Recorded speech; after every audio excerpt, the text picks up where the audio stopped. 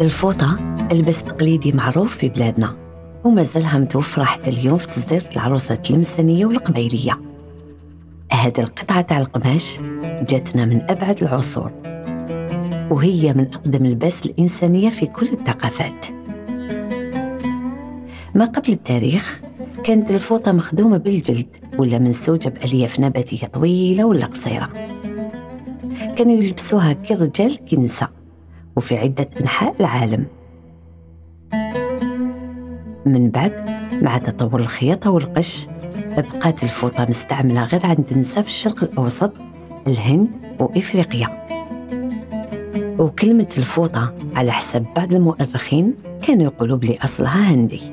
في الجزائر بقاو النساء يستعملوا الفوطة باش يزينوا بها تبديلة العروسة ولا باش يسطروا رواحهم كي يخرجوا لبرا.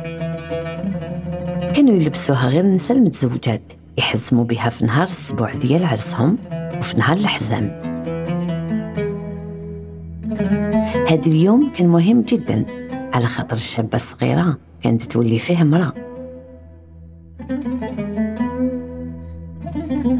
الفوطة نلقاوها ديما مخدومة بقماش مخطط على خاطر يقولوا بكري باللي هاد الخطوط تبعد العين خاصة على النسوان كي يخرجوا من الدار باش يروحوا للجنان ولا يعمروا الماء. القبايل يسموها تحريمة الفوطة معناها الحرمة. كانوا يخدموها بالصوف والقطن. وكانت وحدة مخيطة بالحرير يلفوا فيها المزيود الجديد.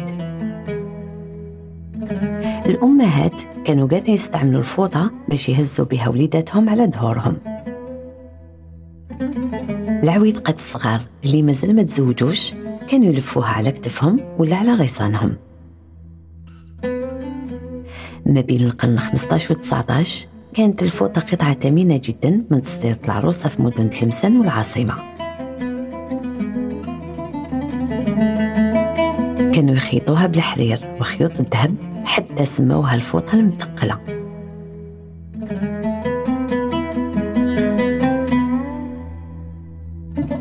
بعد قرون من الوجود في ثقافتنا بين التزيان والسطرة اختفت الفوطة بالعقل بالعقل من حياتنا اليومية وبقات موجودة غير تصدير العروسات المسانية والقبيلية.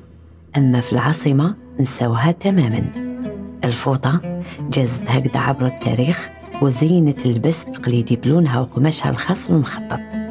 ومن نحكي على زمان محلاها كل لبسة تخلي كل مرة تزين الجلسة وعليها الخموس والخمسة.